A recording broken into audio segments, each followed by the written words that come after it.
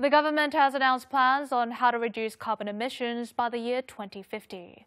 From the scenarios presented this time, a final plan will be determined in October after collecting opinions from various sectors. But a mountain of tasks lie ahead, such as the feasibility of the proposed goals. The government laid out three possible scenarios on achieving carbon neutrality by 2050, with different levels of emissions being cut back. The most progressive option, Scenario 3, is reaching zero net emission in 30 years. Under the first and second plans, greenhouse gas emissions will be allowed annually at 25.4 million and 18.7 million tons, respectively. These amounts are only 3 to 4 percent of current levels but are not technically going completely carbon neutral. 1, 2안도 탄소 중립으로 가기 위한 하나의 대안들입니다. EU라든지 용국의 경우에도 시나리오에 잔여 배출량이 포함되어 있습니다. The three plans are also different in terms of energy transition. In the first scenario, coal development will be partially maintained even after 30 years.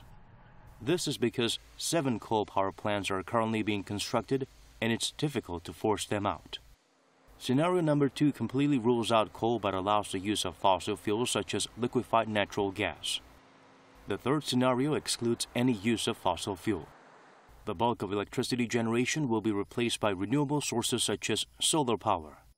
Such green energy accounts for less than 5% of power generation at the moment. This will be raised to as much as 70.8%.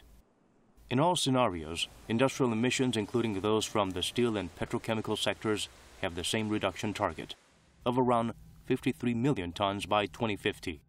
That's down by nearly 80% from 2018's level.